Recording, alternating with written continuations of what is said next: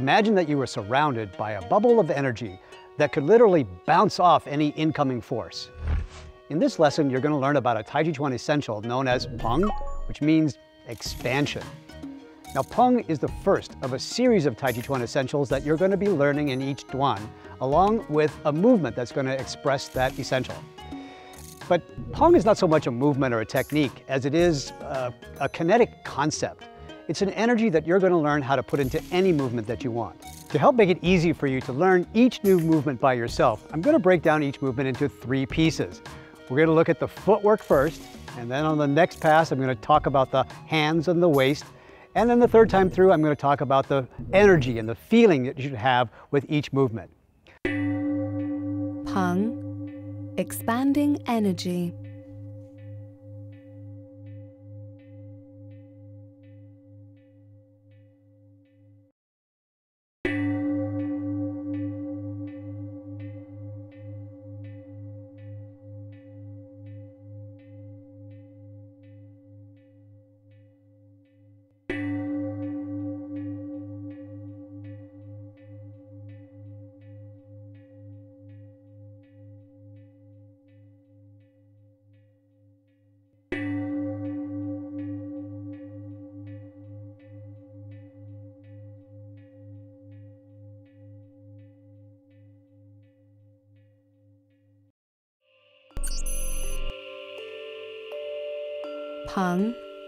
Expanding energy.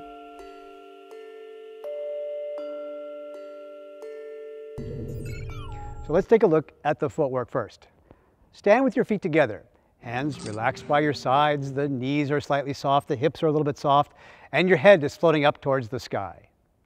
Now shift all the weight over to your right foot, and your left foot floats up a little bit, then steps out to the side about shoulder width. Then evenly distribute the weight over both feet. Both hands float up into the air, about shoulder level, and then everything gets heavy and the elbows sink down, the hands sink down, the knees bend and the hips sink down as well. Palms pressing down right about to hip height.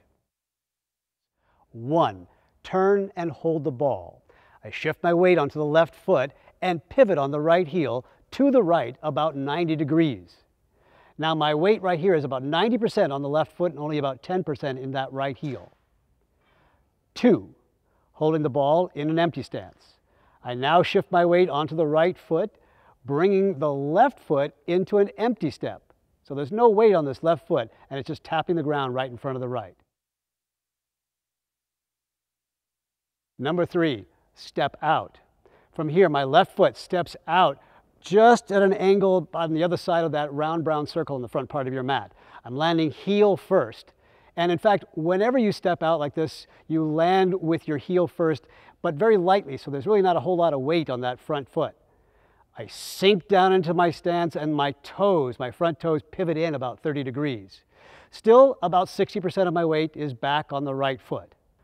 Number four, sink and gather. So my feet and my weight pretty much stay in the same place. I simply sink down into the step, just kind of getting down into it here. And then number five, expand forward. I now shift my weight into the front foot, turning my waist as I go. And as I finish, I sink down into the stance and my right toes pivot inward slightly. Finally, the last part is called back to neutral. I shift my weight back, step back side by side, and let my hands float down as my knees straighten, my spine straightens, my head floats up. The weight shifts back over to the right foot and I step the feet together. And that's the entire sequence of Peng. This time through, we're going to take a look at what the hands and arms, basically the upper body, is doing. Number one, turn and hold the ball. So I'm rotating the body with my left leg as the axis, turning my toes out, and I'm going to put my hands into a holding the ball position. My right hand rising up like the top of the ball, about shoulder level. My left hand coming under and cupping the bottom of the ball, hand right in front of the navel.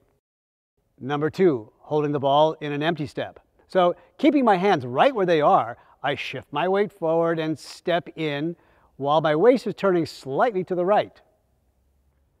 Number three, step out. Again, the hands are staying in the same place. My left foot steps out into its position. Number four, sink and gather. So from this position, my hand still in the same spot, I sit down into that, just kind of getting down a little bit deeper. Rotate from the waist more towards the right, letting my hands trail my body rotation. Number five, expand forward. Here I shift my weight into that left foot, the hands floating forward, my left arm expanding outward, rounding out, and my right hand coming right behind it, almost but not quite touching the left wrist. My arms form a circle as if embracing a big ball right in front of me. And finally, back to neutral. My hands rise up to about shoulder level. I draw back into that Wuji stance, and then my hands float down as my legs straighten. I shift my weight back to the right foot. I elevate the spine, letting the head float up again, and finish the whole sequence.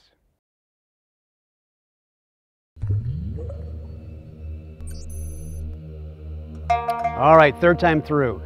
Now, as I do this last time through with you, what I want to do is give you some imagery, some, some feelings that you want to put into every part of the movement.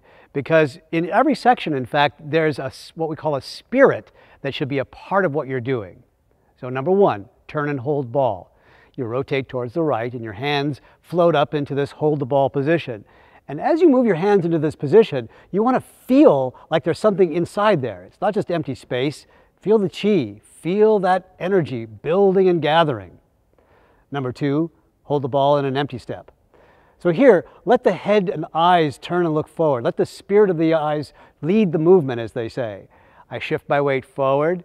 I look in this direction. As I step into my empty step, my head and eyes look back to see the target out in front of me. Number three, step out. So I'm going to step out with that left foot just slightly to the side of that front ball. And I want to make sure that as I step out, I still keep my good posture, still keep my good body position. The head suspends up into the sky like a, like a balloon filled with helium. Number four, sink and turn the waist. So let your waist do all the work here for you, but first get down into it, right? Just sink down. Let, your, let yourself feel like you're really uh, getting down into the earth, right? Getting grounded.